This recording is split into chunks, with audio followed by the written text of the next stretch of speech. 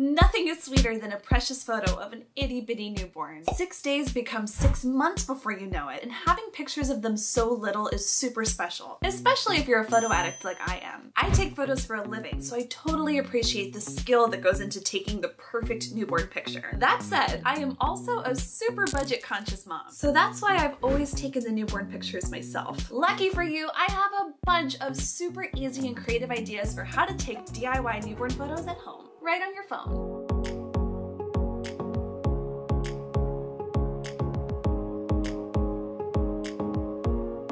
We jump into my newborn photo ideas, make sure you subscribe to Chatbooks' YouTube channel for more genius photo hacks, family photo book ideas, and so much more. We are going to save money and still score those epic newborn photos with these ideas. And once we get the shot, do not let those photos get stuck in camera roll purgatory. Print them! I always print my photos with my Monthbook photo book subscription from Chatbooks. Chatbooks is the ridiculously easy way to share, print, and enjoy your family photos. My girls love flipping through our photo books, and they are beyond easy and affordable to make with the Chatbooks app. I'm just a teeny bit obsessed. Now, admittedly, my newborn daughter is four months old. I kept meaning to take her portrait, but time got away from me in the chaos of becoming a mom of two. But that's okay. It is never too late to take these kinds of pictures, and I will prove that to you today. Chloe is going to be my mini model, and I am definitely going to add the final results to this month's book. You are going to love how these turn out. Let's get started. We're going to start with the basics. Pick a spot next to a nice sunny window with plenty of indirect light. For a background, I'm going to spread a blanket out on the floor. You don't need any fancy photo backgrounds, just use what you have. Now, chances are you have plenty of swaddles. If you love the look of those stretchy, gauzy newborn wraps, they're easy to find on Etsy or even Amazon. But I have an even better trick for you. Use an old cozy sweater to make your own special photo wrap. Just find the seams, cut along them, cut away the sleeves and the collar, and you're left with one big piece of fabric. This is the perfect size for a newborn, maybe a bit of a stretch for my four month old baby, but even still, it works like a dream. Just wrap and stretch the swaddle, tucking it in under the baby until they're nice and secure. Whoops! They get really good at sneaking those arms out of a swaddle once they get bigger. One big bonus of using an upcycled sweater is that it smells like you, and that's a really good trick for getting your newborn to relax. Look at that cozy texture, and zero dollars to make. Ugh, I love it. This idea is all about getting your newborn tucked in and cuddly. I'm putting Chloe's crib mattress on the floor and covering it with a set of jersey sheets. They're super stretchy and soft, which looks beautiful in newborn photos. These are twin sheets for my toddler's bed, and I'm just tucking the excess underneath. Ideally, you want to take your newborn pictures between 4 and 12 weeks. You want to hit that sweet spot of feeling settled and confident, but have your baby be little enough that their wake windows are short. But here I am with my big old juicy 4-month baby, and it'll still work. Here's my trick. If they are awake, and not ready for their close-up, go ahead with the entire setup, place them in the scene, and be patient. They will fall back asleep eventually. I rub her face, I sing her a song, and look!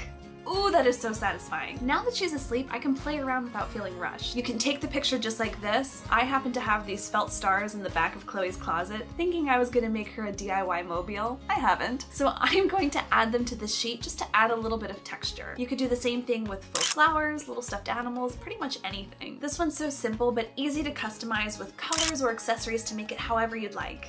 So cute! There are so many whimsical ways of setting up a newborn photo shoot, but you don't have to go crazy buying things to set up a scene. I have a blue comforter, so I'm going to do this next idea on the bed, but you could do this with any blue blanket, blue towel, tablecloth. I do want to use this opportunity for a little disclaimer. No matter which idea you're trying, you want to make sure that your baby is always safe and secure. Leave it to a baby to show you they can roll for the first time while they're on the bed and your hands are busy holding a camera. A tip to keep in mind if you're taking a picture on a bed is that you want to tuck your comforter in super, super tight. This helps smooth out any wrinkles and keeps your photos looking really professional. Now for the scene, I'm just going to use regular computer paper to cut out some clouds. You don't have to be an artist for this, clouds are easy. Next, you're going to blow up a balloon, which babies love to watch. Instead of ribbon, try a pipe cleaner for the handle. It doesn't move around a lot, just looks a lot cleaner in photographs. So simple and so whimsical. This is such a fun one to do.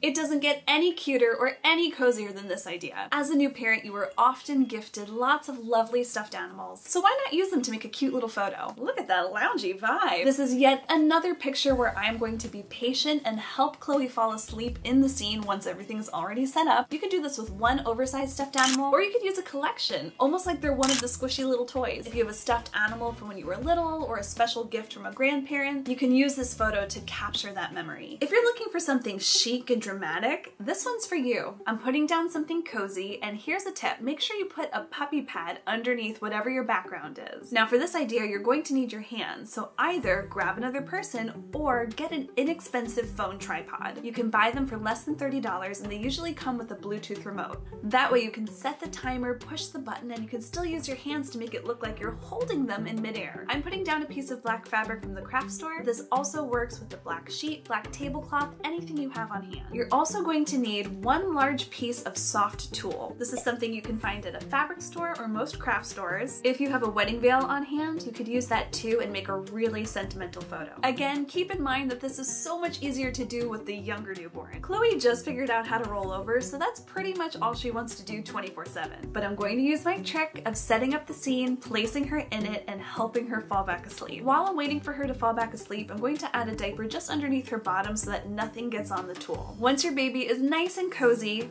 roll them to their side, grab the tulle on each end, and pull it together to one side of the black fabric, almost like a hammock. When you snap the photo, they're cradled in this really beautiful transparent fabric. You can also do this one as a black and white. Super chic and super dramatic. If you're a bookworm, definitely try this idea. Create a backdrop by draping a blanket over the crib or the edge of the bed and spreading the rest of it out on the floor. You can leave this just like this, or if you'd like, look around the house for something with some extra texture. You can use a blanket, a rug. I have this fabulous coat that I thought would be super fun. Now go grab a stack of your favorite books. Once you create a setup that you love, go grab your baby. It's very easy to prop up a young newborn like this. For me, I have my older baby, so this is very great tummy time practice. She happens to love sleeping on her belly, so I'm going to set her up and wait for her to drift off. This is a really great way to show off your favorite children's books or your collection if you're a super fan of a certain series. If you want to keep things super simple but still want a special setup, Give this heart idea a try. All you need for this idea is a blanket. It can be as small as a receiving blanket or a crib blanket if you have a newborn, or you might want to use a full quilt or duvet like I am going to do since I have a nice big four month old baby. Spread your blanket out on a cozy surface and start molding the blanket into the shape of a heart. Now this works really well with a blanket that has some structure to it, kind of like a duvet. If you want a little extra help with the shape, roll up a towel or a blanket and kind of use it as a mold underneath your blanket. Once you create the shape that you like,